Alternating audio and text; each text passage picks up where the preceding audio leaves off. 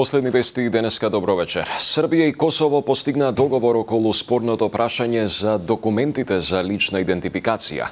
Порача денеска представникот на Европската Унија за надворешна политика и безбедност Жозеф Борел.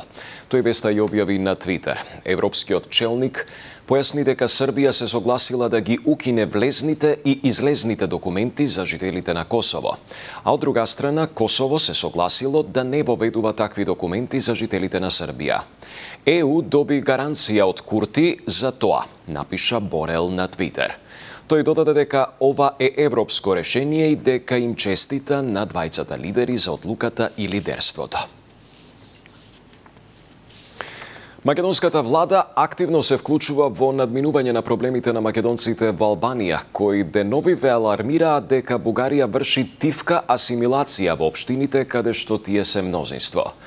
Откако премиерот Ковачевски најави разговори со албанскиот колега Рама, шефот на дипломатијата Бујар Османи утре патува во Пустец, за да ги чуе маките на нашинците, кои велат дека Софија со уцени се обидува да ги примора да се изјаснат како бугари на предстојниот попис. Ние работиме со нашето на со македонското национално малцинство во Албанија подолго време во различни форми и преку комуникација и преку е, асистенција. Јас веќе имав комуникација со нив и се договоривме утре, јас ќе ги посетам и Пустец и е, новиот граничен премин Джепиште Требиште кој, во кој што исто така живее македонско национално малцинство во Албанија во договор со е, нашите таму, така да ќе ги посетам и општините, и училиштето, и ќе имам комуникација со граѓаните и нивните здруженија во текот на целиот ден, утрешниот ден, за да ги слушнам нивните е, забелешки и така натаму и да видиме што можеме ние да помогнеме во комуникација со Република Албанија. Пратениците од идната недела ја почнуваат новата сесија по летните одмори. Не очекува жешка политичка есен, а студена зима. Вака политичкиот аналитичар Петар Арсовски го прогнозира периодот што ни предстои на политички план. Жешка есен, а ладна зима. А, значи, енергетската криза ја погаѓа цела Европа поради војната во Крајна и не е големо изненадување што и во Македонија ќе имаме сериозна сериозен предизвик енергетски во смисла на струја и во смисла на грејење тоа дополнително ќе обжешти политичката атмосфера, ќе изголеми препукувањата и обвинувањата од, и од опозицијата и од власта и мислам дека не очекува една комплицирана а, и економска и енергетска и особено политичка ес.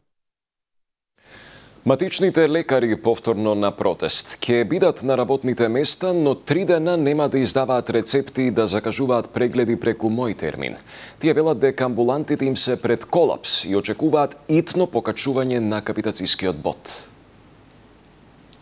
Пети, шести и седми примарното здравство нема да издава ни рецепти ни упати. Нема да го користи мој термин, за да извршиме притисок и да се надеваме дека нели со три дена овој пат би нешто би се поместило за да може да обстојат докторите, руралните доктори, малите ординации. Ниту правилници се сменети. Значи имаше нешта кои што воопшто не коштаат пари.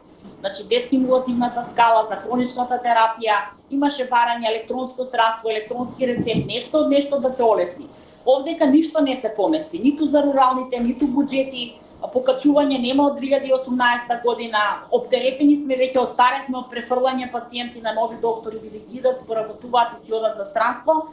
Значи да се изјасни државата, здравството, министерството, владата, им требаат ли приватни доктори или не. Поскапена е горивот, поскапено е горивот, индустријската струја ќе не уништи и ние бараме подитно, значи бодот да биде покачен од 1 септември и тоа имало и ретроградно кога се случувало, а, значи мора нешто да се случи, мора нешто да се придвижи, се во интерес граѓаните да има кој да ги лекува.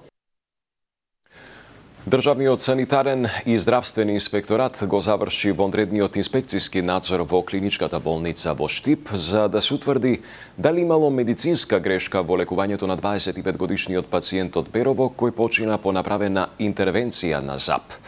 Од Државниот инспекторат за Канал 5 велат дека сега се насочуваат кон вонредни инспекцијски надзори во сите матични установи каде што пациентот побарал лекарска помош.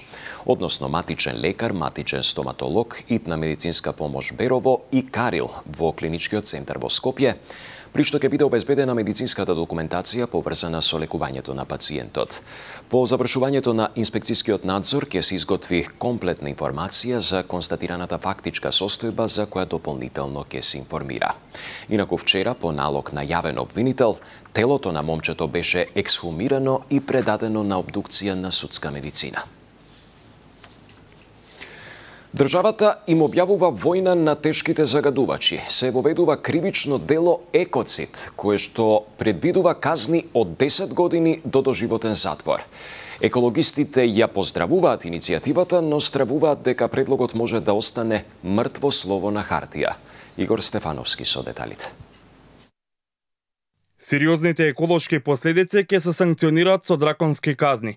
Ново дело влегува во кривичниот законник. Со екоцид најблагата казна за сторителите предвидува 10 години затвор, а најстрогата до животна робија. Новиот кривичен законник е објавен нејнера, новото кривично дело предвидува тој што спротивно на прописите со намерата да предизвика штета на животната средина, ќе преземе действие или ќе пропушти да преземе действие поради кое ќе настане сериозна или широко распространета или долготрајна долготрајна штета на животната средина, ќе се казнен со казна затвор од најмалку 10 години или со доживотен затвор.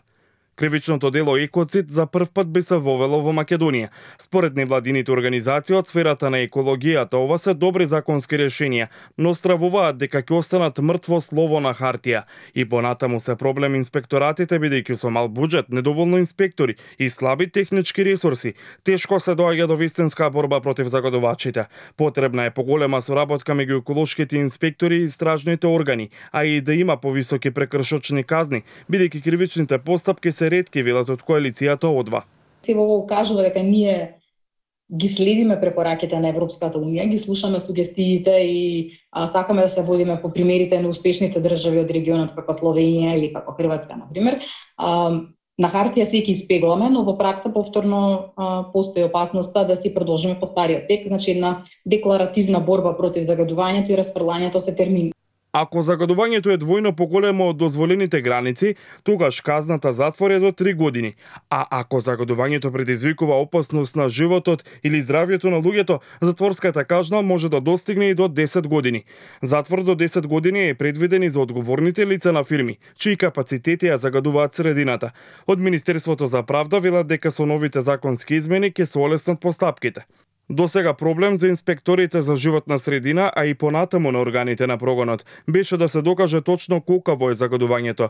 Сега при откривањето и казнувањето ќе биде доволно да се утврди загадување повеќе од дозволеното, со што постапката се олеснува.